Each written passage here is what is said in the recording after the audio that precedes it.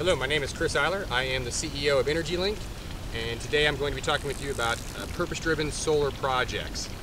And behind me, you can see uh, water running. This is a function of a uh, purpose-driven solar project we've installed. Obviously, this is a, a solar well pump that is feeding this pond. Uh, the owner is using this water, this, this pond for irrigation, and he had trouble keeping it filled um, last year during the drought. So we installed this. He's using it to irrigate his property. Um, now let's go up and take a look at the array itself and discuss uh, what defines a, a purpose-driven solar project.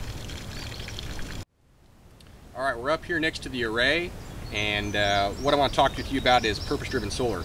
So um, it, it's exactly like the definition says. You've got a purpose to drive the solar. Uh, in this case, he wasn't near uh, a grid or couldn't afford to get the grid in this area, and uh, the the water was going to be an issue as well. It was a perfect project.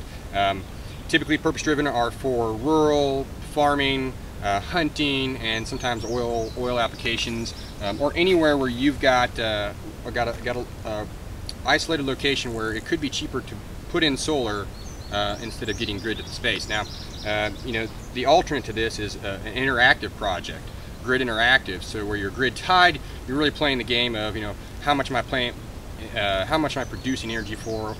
What's my kilowatt hour production? Is that better than my opportunity cost to buy it? Um, and that's that's kind of your game on, on those projects. That's like a residential or commercial application. Um, here, he's got a purpose. He needs it. The value exceeds what he can get his uh, grid here for so it worked out great. If you've got more questions about purpose-driven solar projects or you've got one in mind for your application, give us a call or check us out at www.goenergylink.com. Thanks a lot.